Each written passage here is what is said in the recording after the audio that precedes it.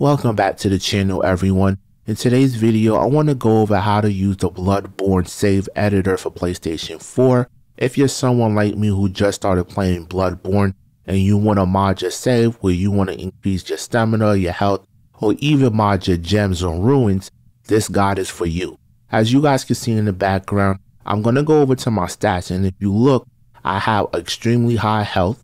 My stamina says 244, but it's really at 600. If you look at the stats in the background, my stamina exceeds my health. That's how you know that this save is modded.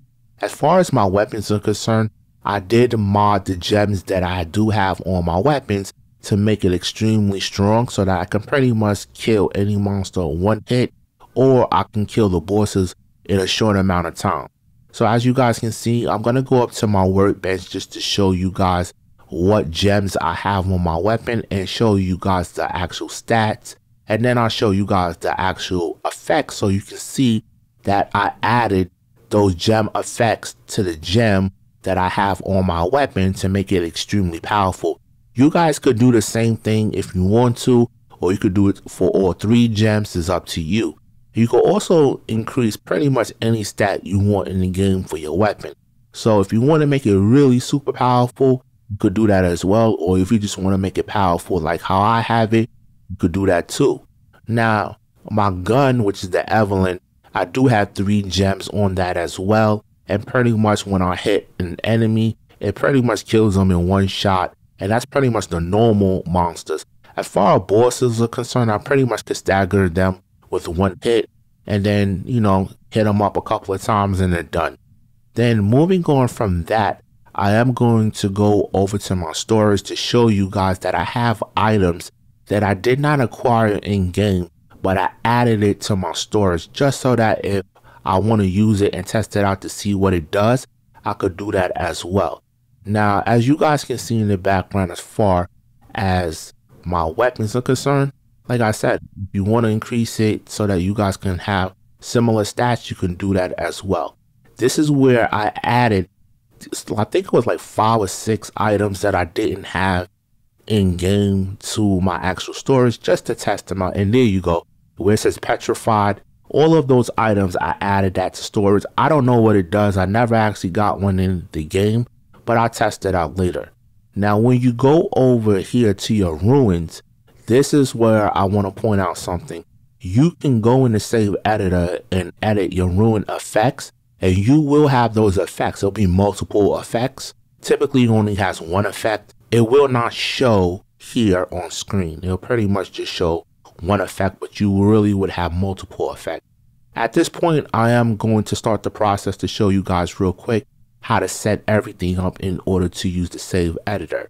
So the first thing you want to do is go over to settings and you want to go either on PlayStation 4 or PlayStation 5 and use a save data management and copy your game save onto a USB device. Once that process is done, I highly recommend if you guys have PlayStation Plus to also make a backup copy of your save to your online storage.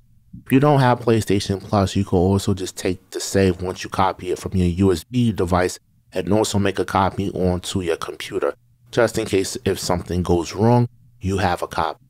So as you guys can see in the background, I am going to copy my game save to my USB device. And then at that point, once I have a copy of my save, I'm going to start the second half of the video, which is showing you guys how to edit your game save properly using the Bloodborne save editor with Save Wizard. And it shouldn't take you guys but a few minutes to get everything up and running as far as editing your game save. Now that I'm on my computer, as you guys can see, I'm on Save Wizard. I'm going to select advanced mode on my game save and I'm going to wait for advanced mode to open up. Once it opens, I then would have the ability to export a decrypted copy of my save and save it to my desktop of my computer. So as you guys can see right now, it just opened up and the option to export a decrypted copy of your save is on the right hand side of the screen and it says export to file. Once you click on it, it's going to ask you where would you like to put the decrypted copy of your save. For me, it's on my desktop. Now at this point, you could leave Save Wizard open. Now we're going to go into the Save Editor and hit open. and select the decrypted copy of our game save and everything should load properly as it just did. And at this point, I'm going to go into my inventory just to show you guys that you can pretty much add any item that you did not earn in the game to your inventory. Now, I highly recommend for you guys not to add key items to your inventory until you complete that task in the game and actually get it. If you happen to add a key item that you need to earn in game to your inventory, there's a possibility to corrupt your save. Another feature that you can do with the save editor is go to a weapon in your inventory and replace it with a weapon that you actually want. As you guys can see in the background, I selected the saw cleaver and basically I can then replace that weapon with any weapon in any variation that I want, hit confirm, and that weapon will be in my inventory. Now there's a lot of weapons in the game that I didn't even know came in different variations, but I'm not going to select anything right now. Another thing that you can do while you're inside of your inventory is select gems. As you guys can see here, I have five slots where I can add five gems. Typically it's three if I'm correct, and I have three right now. I'm going to add a fourth one right now for the saw cleaver. Just click in the empty box, hit change, and you can select any gem you want. Then once you have that gem, you're going to click back into that slot, which is the fourth slot, but this time hit edit. And then you could swap out any gem effects that you want for this gem and just hit confirm. And that gem for that weapon would have those effects. Now, you can pick whatever you want for your build so you can make it extremely powerful. Me, I just do mostly damage, mostly a little poison or fire, and call it a day. I'm not going to go through everything. As far as my stats, same thing. I changed my stamina to 600. I hit firm, and now I have that stamina as well as my life.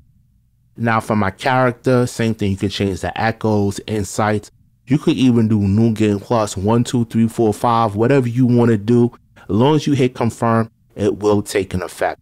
Me, I'm on new game plus one, and I'm good to go. Now for your bosses here, I don't mess with this. I'll leave this alone because I don't want to mess up anything on my save. At this point, I'm just going to save my save to my decrypted save and override that. Hit yes. And then what I'm going to do once I'm done with the Bloodborne save editor is go back on save wizard. And this time I'm going to look and hit import file, which is going to take the save and bring it back inside of Save Wizard. And then at this point, all I need to do is hit apply. It'll do the changes, upload everything to my save, and then I could take the save, go back to my PlayStation 4 or PlayStation 5, go to save data management, and copy the save back over to my console, and I'm good to go. And I could use the save with the modifications that I made. And that's all there is to using the Bloodborne save editor for PlayStation 4 or PlayStation 5. It's really that simple. Most people get stuck on the part of how to decrypt the save. And if you have Save Wizard, it's pretty much easy to do. If you don't have Save Wizard, you may have to find another alternative to decrypt your save. Once everything is said and done, you should be good to go and you just rinse and repeat the process. But that's pretty much it for this video, guys. This is how you use the Bloodborne Save Editor properly. If you guys have any comments or questions, please hit me up in the comment box. But as always, I thank you guys for watching my video, supporting my channel, and I will get up with you guys later. Peace.